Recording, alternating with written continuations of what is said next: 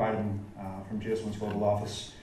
Uh, my role is responsible for retail globally, and that's a big sector for us, but in, it includes fast moving consumer goods, it includes fresh foods, it includes apparel, general merchandise, wine, spirits, in all of those countries you just saw. So, that sounds complicated. We're going to make it really simple. We're going to make it about Barry. This is Barry. It's the physical world Barry, that's the digital world Barry. Uh, we've heard so much today. It started with Gustavo and Nielsen talking about changes in consumer behavior. We had a couple of great panels that talked about the way businesses are trying to respond, and then just summed up wonderfully by Case, talking about transformation from value chains to value networks, how businesses are responding, and ultimately the fact that we all need to act because things are happening very quickly. I was here two years ago. Actually, I was last, it was perfect. In the same slot. Uh, and back then, I was talking about uh, putting the consumer in the center and uh, getting supply chain right, and these lofty theoretical things. And I thought that we'd change things now and make it really concrete about things we can do to change the world. So I figured everyone here is here for one of these three reasons, if not two or all of them. You want to reduce costs, you want to create great consumer experiences, and ultimately you want to sell more stuff. If you're from healthcare, the first two are the same, the last one is saving lives and patient safety. But fundamentally, that's why we're here. And we've heard a lot today that says to do that, you need to increase consumer transparency, you need to increase the speed at which we do everything. And you need to grow trust between supply chain partners, uh, upstream and downstream, but also with consumers. That we all heard. We didn't hear the how. And so we're going to spend a few minutes, not many, I promise, on identification, data, and event tracking. It's this core of what GS1 does that most of you know parts of. Maybe you know all of it. If you do, I'm sorry. Uh, I'm going to waste a few minutes of your time. But these three things are the core to increasing transparency, moving faster, and building that trust. And they're ultimately part of the key for every one of your businesses, whether you're a manufacturer, a farmer, uh, a, a multinational brand owner, or a retailer at a corner shop, or in a multinational chain. Did everybody see the difference? It's always dependent on projector.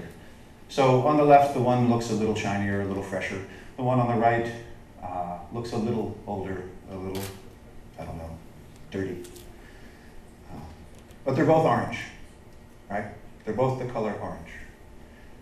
What we're going to talk about for the next few minutes is two things that are also, at least today, looked at slightly differently. But my contention is that they're actually the same.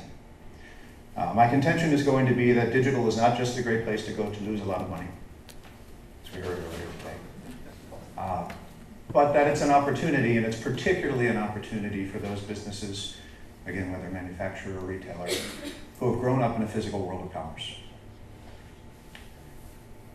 And we're going to go back to Barry. Everything starts with identification. Barry has a name. As you know, he's Barry. I'm Robert. Uh, this is Joao. We all have names. And online, I have a lot of different names as well. On Twitter, it's at Robert Beideman. Uh, on WeChat, I'm my phone number. And all of those are linked together and they're, they're part of my name. And that's really important to me because if I lose it, uh, I need to be able to get it back. It always needs to come back to my identity being me. And that's true for Barry too. It's true for all your products. They need an identity that is as consistent in the physical world as it is in the online world. Because without that, it's just a bear, and there's a lot of blue bears out there, but none of them are as cool as Barry. And then it's about Barry himself. In the physical world, I can pick up Barry. He's kind of floppy. He's nice. He's about this big. He's soft. I can read about what's inside him. He does actually have a barcode on him, too. Uh, and I can pretty much tell by the ingredients if I'm allergic to them. I say that because Barry, in a lot of ways, is just like a food product, especially when we're talking about children.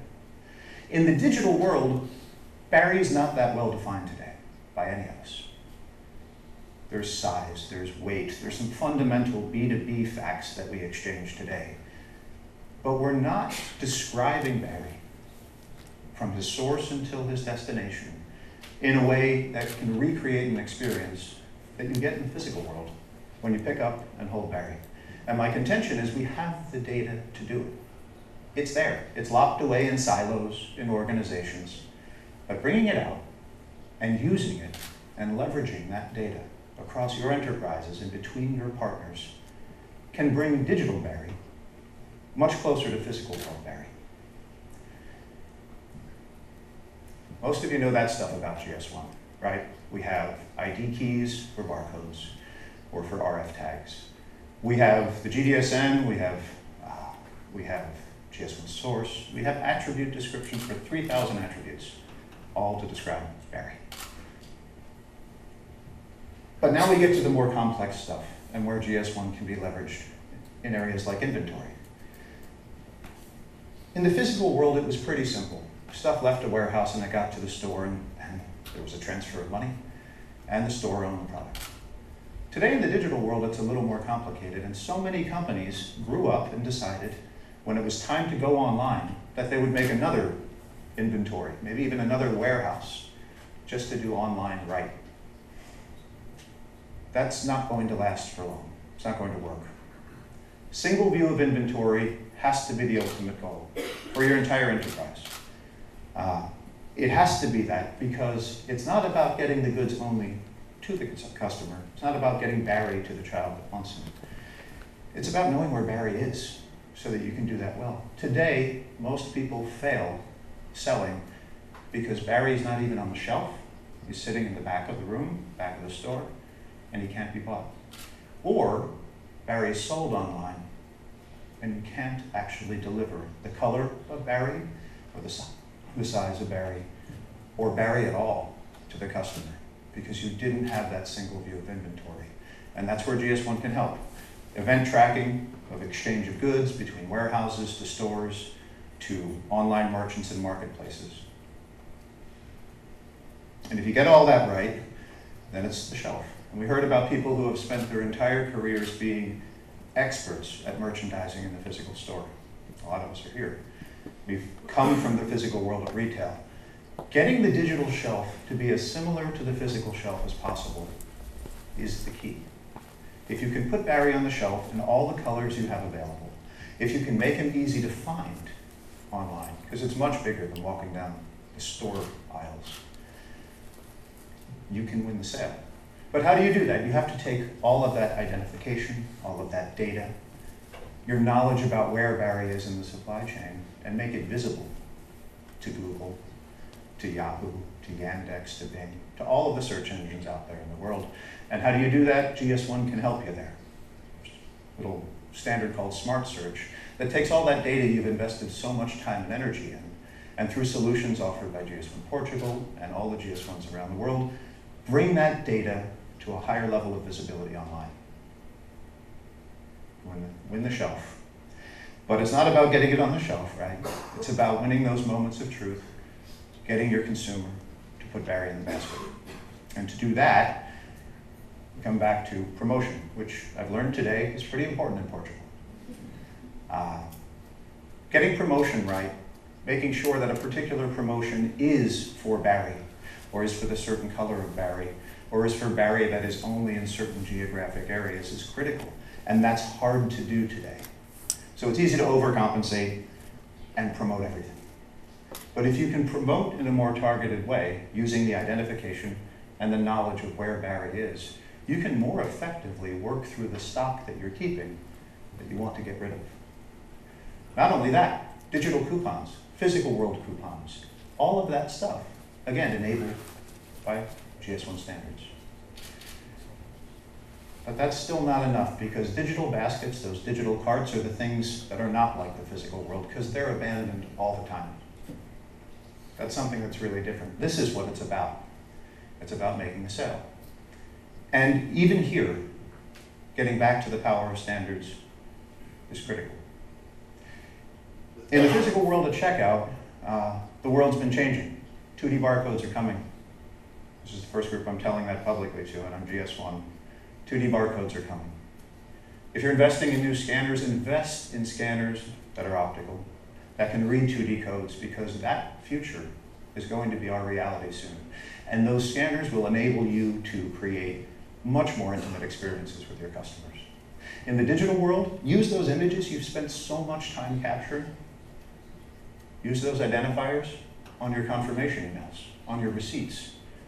Bring that connection so that people know that when they clicked buy, they're going to get what they think they ordered. Here's one that was very different in the physical world and online. There's Barry on the way home. That part's easy, right? Out of the store, decrement the stock, it's very simple. But online is different. Click and collect, lockers, uh, ship to home, ship to the office, same day delivery, same hour delivery. The world's changing. And it may not be changing exactly at the same pace here as in the UK, like we heard earlier, but it's changing. And those fulfillment options require you to know where Barry is, in what color, you need to know the data, you need to know the inventory, and you need to know how fast it has to get there. Again, foundation of it all, GS1 standards. I don't know why anybody would want to return Barry but I had to talk about it. That's the saddest picture of the whole slide deck. In the physical store, uh, returns used to be easy because the stores owned the inventory once the store got the inventory in, in most supply chains. And so when the bear came back, it was, it was a cost. Now stores can cross-ship Barry, stores can ship them back to warehouses, consumers can ship Barry directly to a warehouse of your choosing as the retailers. Combining that with the knowledge of your stock locations, you can put Barry back on, into, onto a shelf exactly where you want it. That's powerful. And again, it's on the same foundation of using identification, good data, and event tracking. We heard a lot today about analytics, and Case mentioned it as well. Uh, the power of, of analytics and being able to be more predictive. In store, reams of paper each week, processing trends and velocity of sales, and figuring out how to merchandise the next day or the next week a little bit differently. Online, there's so much more available to us, but that stuff won't work either unless it's connected back to your business through the same identification, and the same information that you use to get it out to your consumer. Last one, maybe the most powerful part of it all in the physical world is the word of mouth. That's how our brands are built. And when I say brand, I don't mean the brand of the manufacturer. If you're a retailer, you have a brand that's critical to your business. Uh, if you're a farmer, you have a brand. If you're a wine producer, you have a brand. Those brands have become as strong as they are today because of word of mouth. Because people's experiences were either good or bad, or normally very mixed over the course of time and you worked to navigate and create your brand. And now that other one in the digital world has a chance to either help out a lot or really hurt. Make it help. And you can make it help by making sure that your customers are having conversations about the right product in the right venue with the right audience. Again, back to identification and data. And so GS1, this is the traditional GS1. We've been around for 40 years in this physical world, and there were a lot of pieces we just went through. Uh, but we've been morphing over the last few years to adapt to this digital world and, and spending a lot of our energy with you as a community and with the global community to blur the lines between digital and physical, and certainly to make the system of standards able to work across those boundaries. We've been focused on all three of these. Traceability is a huge influence for us and focus for us now. Data continues to be critical, and the most foundational piece is identification. We believe in the power of standards to help every one of us increase transparency, move a lot faster, and build trust even faster than we have in the past. And ultimately, we think that can help you reduce costs, create experiences, and sell more stuff. A few years ago, we coined a, a, phrase, and it was the phrase that started this presentation and what I'll end with. The phrase is it's just commerce. We got all nervous about the online thing for a lot of years. And we, we at GS1, we kind of stepped back and looked at it and we said, it's kind of like taking off in an airplane or a rocket. The acceleration pins you to your seat for a few years, or a few years in our case, a few minutes. But then once you're up to speed, you don't feel that anymore. You're just flying higher, you're just going faster, and you're just selling more stuff. Uh, with that, I'm, I'm done. I just want to ask you to do two things. If any of this was new about what GS1 can influence, I, I want you to go talk to a colleague in a different part of your company. Try the marketing organization if they're not here. And bring them to GS1. Bring them to the new, beautiful building that's about to be constructed. And find out more about what GS1 can do for you because you've built this organization, it's yours. You, should, you should leverage it for all it's worth. Thank you.